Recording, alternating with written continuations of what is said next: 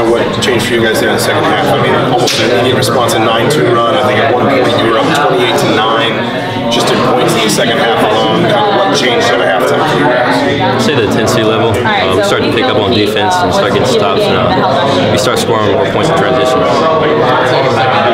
What, I mean, what do you think maybe was the in the first half the reason you guys just kind of you know they were it seemed like almost they, they wanted it more in the first half is that kind of how, how you saw it also and maybe what was the reason for that Uh, I want to say that. I want to say they were they were hitting a lot of tough shots, and then yeah, I think seven offensive rebounds. So and they scored a couple points off offensive rebounds. So I feel like we weren't really blocking out. They were getting easy buckets to the side too.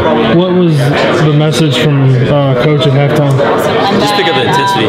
You feel like they um, outplayed us, got a, got to the 50-50 balls. You just didn't want that to happen again.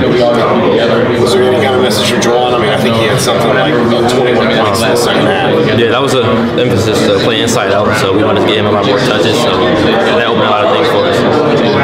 any adjustment you guys had to make not having Romeo out there was it Uh, different yeah, a little bit. I mean, Al, he played Obrigado.